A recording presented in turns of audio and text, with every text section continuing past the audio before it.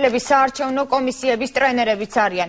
რაში ავარჯიშებს პატრულის თანამშრომელი საარჩევნო ადმინისტრაციას და მისაღებია თუ არა ტრენერად შინაგან საქმეთა სამინისტროს თანამშრომლის საყვანა მით უმეტეს რომ მას არა მხოლოდ კომისიის წევრების განათლებაზე ზრუნვა, არამედ არჩევნების დღეს მათზე ზედამხედველობაც ევალება.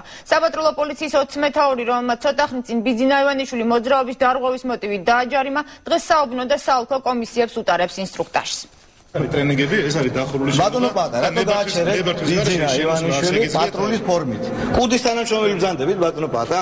არ ბატონო კუდის თანამშრომელი აბა ვიმცას პატრულის თანამშრომელი ხარ? ვარ CSKO-ს ტრენერი ახლა ამ შემთხვევაში მე 20 მეთაური ვარ CSKO-ს ტრენერი. საპატრულო პოლიციის 20 მეთაურ პაატა მიდელაურის გარდა საოლქო და საუბნო კომისიის წევრებს ტრენინგებს გამგეობისა და სხვა საჯარო სამსახურის თანამშრომლებიც უტარებენ. პედაგოგიური საქმიანობით აქტიურად არიან დაკავებულნი რუსთავის წალკისა და გორის მუნიციპალიტეტის მოხელეები.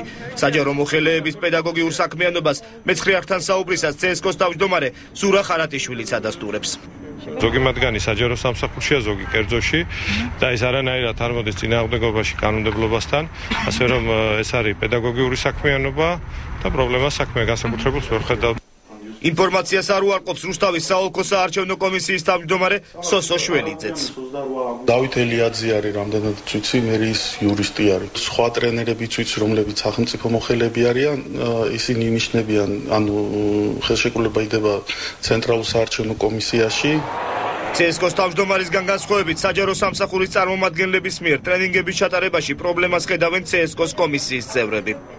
არ უნდა იყვნენ ეს ადამიანები, ისეთი უწყებების თანამშრომლები, როგორც არის შინაგან საქმეთა სამინისტროს თანამშრომლები, როგორც არის თქვა მერიის თანამშრომელი, იმიტომ რომ ადამიანი რომელიც ტრენინგს ატარებს, მას თავისი სამსახურებრივი ფუნქციებიდან გამომდინარე, არ უნდა ქონდეს აი ამ ადამიანებს რაიმე ზემოქმედების საშუალება. მას უკვე როგორც ტრენერის ფუნქცია კი არა, არამედ წარმომადგენლის, რომელიც ზედამხედველობის ფუნქციას ასრულებს.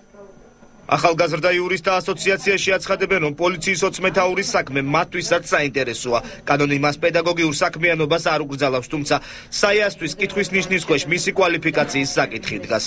სახედავთ უფრო სხვა დიდ პრობლემას ამ საკითხში, როგორც არის კიდევ მეორე ტრენერთა შერჩევის საკითხი, ამ ტრენერების კვალიფიციურობის, სანდოობის, მიუკერძოებლობის საჯარო მოხელე პედაგოგების საკითხი ოპოზიციამ CSKO-ს დღევანდელ ხდომაზე დააყენა. კომისიის თავმჯდომარე და წევრები შეთანხმდნენ რომ ყველა იმ პირის საქმე გადაიხედება რომელიც სამართალდამცავ ან სხვა საჯარო სამსახურში მუშაობს